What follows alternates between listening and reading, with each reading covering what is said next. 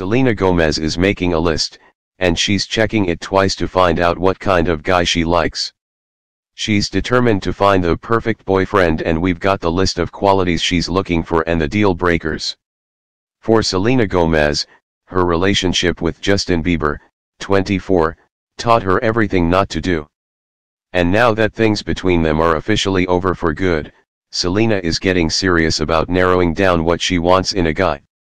Selena made a list of qualities she is looking for in her next man and also a list of deal breakers too.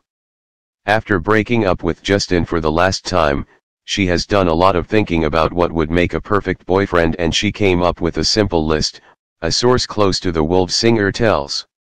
She wants someone smart, funny and obviously cute too.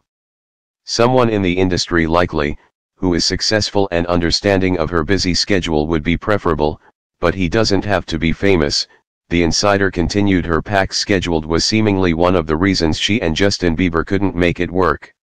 Selena also has a few qualities that she will not tolerate at all, total deal breakers.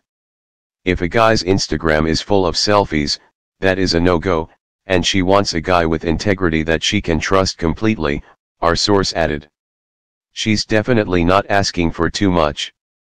If she can't communicate or believe her man, or a guy who gets mysterious text messages at odd hours that would be a total deal breaker for her, the source said. Other than that, she is trying to keep an open mind about her next boyfriend. She is quick to fall in love with artists and singers who inspire her and help her own creativity, the source explained seemingly in reference to Selena's other ex-boyfriend The Weeknd. She is absolutely ready for love again and feels like her next boyfriend just might be another talented guy like many of her exes, the source added. Well, we're rooting for you Selena Gomez.